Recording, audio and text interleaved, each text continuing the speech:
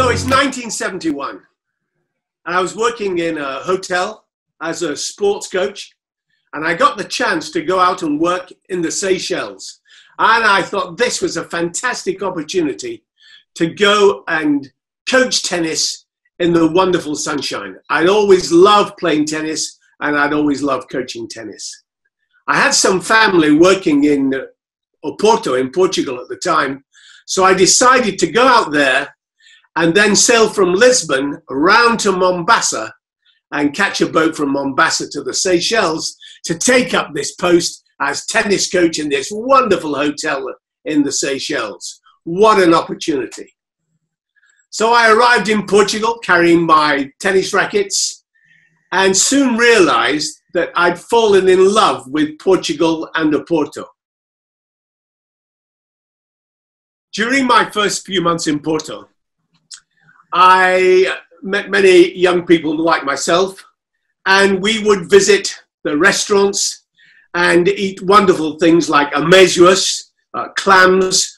Uh, on Wednesday, we would always have feijoada, which are black beans, and I thought these were really fantastic. And I used to love going in an evening to the very dark and dim bars and listening to the fado singers sing about their troubles and their love lives and men who had gone away from them. And this was a great experience for a young guy like myself. So visiting the fado houses was just great. I did get accustomed to liking Portuguese Vinho de Porto or port wine. And so I would also enjoy sampling the port at every opportunity. And it was just after I'd met some of the port wine families that I was asked to go up the River Douro and visit the port quintas, the farms where they would harvest the grapes, usually in September. And here was I having the opportunity to go and spend a weekend in one of these wonderful quintas. I remember going down to the river with, with a huge picnic and various people carrying the picnics on their heads and shoulders. And we must have had enough food to feed an army.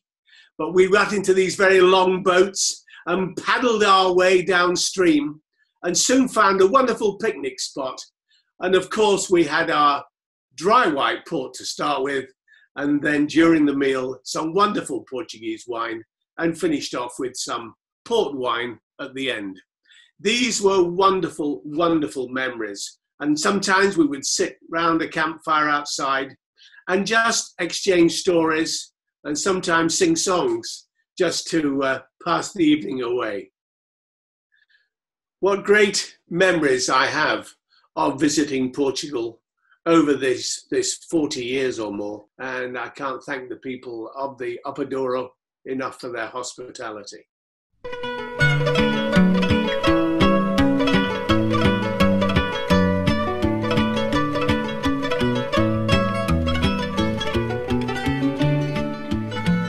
C'era sempre una canzone per voi, un bicchiere, due risate con The grapes are collected by many, many people from the local villages who wind their way through the hillside to take part in this once a year vindima or collection of grapes.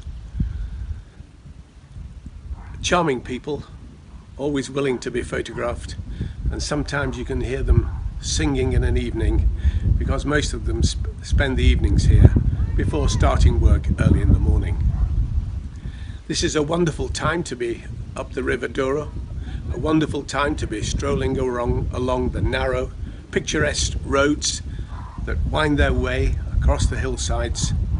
You see many bridges, you see a wonderful little train that comes up here from Oporto, almost up to the Spanish border, and you see lots of river craft winding their way up and down the River Douro.